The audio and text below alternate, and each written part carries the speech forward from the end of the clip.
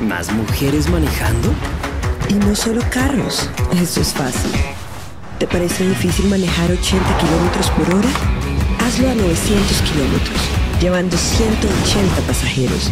Después de eso, puedes manejar lo que quieras. ¿Sabes qué pueden manejar las mujeres? Todo. Chevrolet Tracker Turbo. Encuentra todo lo que manejan las mujeres a tu alrededor. Encuentra nuevos caminos.